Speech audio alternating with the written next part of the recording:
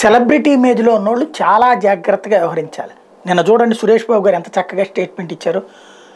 మా నాన్న తెలుగుదేశం పార్టీ ఎంపీగా చేశారు. నేను తెలుగుదేశం పార్టీకి సంబంధించిన సర్వీస్ చేశాను. అది మా వ్యక్తిగతం. సినిమా ఇండస్ట్రీకి రాగద్వేషాలకు అతీతంగా ఉండాలి. పార్టీలకు అతీతంగా ఉండాలి. చంద్రబాబు గారు అరెస్ట్కి సంబంధించి సినిమా ఇండస్ట్రీగా మేము స్పందించమని తేల్చి చెప్పారు అది జెన్యున్. ఎందుకంటే సినిమా ఇండస్ట్రీ సినిమా ఇండస్ట్రీ లాగానే ఉండాలి తప్పించి రాజకీయాల్లోకి దూరకూడదు. ఇదే విధమైనటువంటి వ్యవహారం కళాకారులందరికీ వర్తిస్తుంది.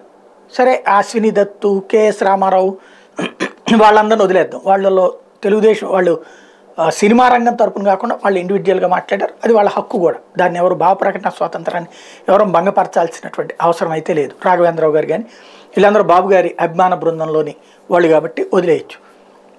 బట్ కలిస్తాని ఉద్యమం ఈ దేశాన్ని మొక్కలు చేయాలనుకున్నటువంటి ఉద్యమం దానికి పంజాబ్లో ఉన్నటువంటి సిక్కులే వందకి తొంభై మంది పట్టించుకోవట్ల ఒక పది శాతం మంది డ్రగ్స్కి అలవాటు పడ్డోళ్ళు తప్పుడు మార్గాలకు అలవాటు పడ్డోళ్ళు మాత్రమే ఈ తీవ్రవాదం వైపుకి మొగ్గు చూపుతున్నారు.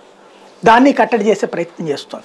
అట్లాంటి సందర్భంలో ఏదో నోటికొచ్చింది వాగటం దేశాన్ని ముక్కలు చేయాలన్నటువంటి దాన్నే ఓకే చేస్తే ఎట్లాగా? పంజాబీ సింగర్ సుబ్ అనేటువంటి వాడు అదే పని చేశాడు.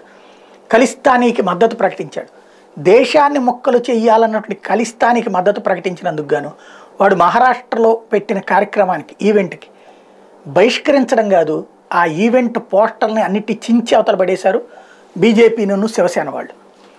వాడి కార్యక్రమాన్ని రద్దు చేయకపోతే దాడులు చేస్తామని హెచ్చరించారు. దీంతో మళ్ళీ భావ ప్రకటన స్వాతంత్ర పక్కు అంటూ పోచుకోలు కబుర్లు చెప్పే వాళ్ళకి చాలా స్పష్టంగా చెప్పారు.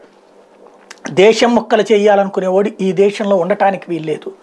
ఈ దేశంలో కార్యక్రమాలు నిర్వహించడానికి వీల్లేదు అని. దీంతో నిర్వాహకులు తలడిల్లిపోతున్నారు.